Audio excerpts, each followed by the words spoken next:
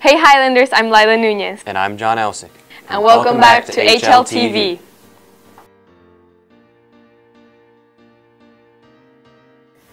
Uh, the whole class is about learning the pre-production, the production, and post-production of putting together uh, movies, documentaries, comedies, just all types of um, media that you see out there, and um, learning the whole process of it. So they start with coming up with their idea, which is the most important part, and then they'll um, script it out, come up with the dialogue, what they want to happen in the video.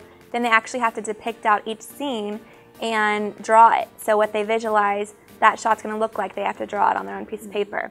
Then after that, they go out and practice and um, act it out and record it all. And then they learn how to edit it and make it into the final video product. Um, the editing process is a lot of fun.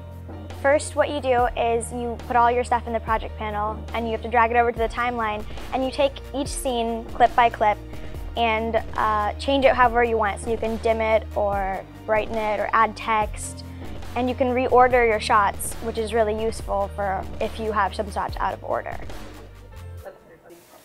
The editing process is, at first it's difficult, you're like, what am I doing?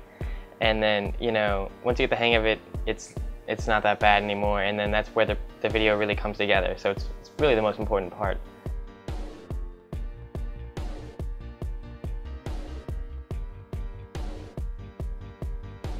What do you think is the biggest difference between the advanced and the, uh, the level class for audio and video production?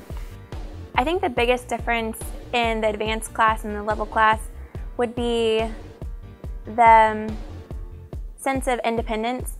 Um, whenever they are in the intro class, I give them everything they need to have. I tell them it needs to have this, it needs to have that. Here's what it's going to be about.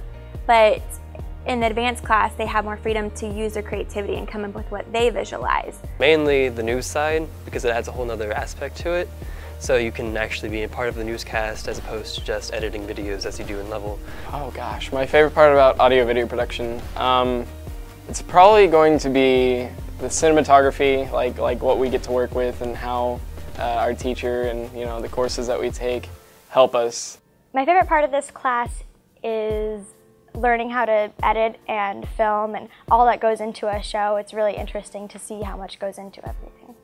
Um, I would recommend this class to really anyone, anyone that's interested, you know, in like in in technical stuff. It's a lot of fun. Even you don't even have to be that technical. You can just be an actor too. That you know you want to be filmed, or um, so really anyone because this class is actually a lot of fun. So, uh, who would you recommend this class to? Anyone that loves um, watching movies or anyone that loves to be a reporter or sports, whatever it may be, um, just has an interest for media. Mm -hmm. And also, people that are shy sometimes, I think should take the class because it really makes them step out of their, their box and become a whole different type of person they didn't even know they had in there. So.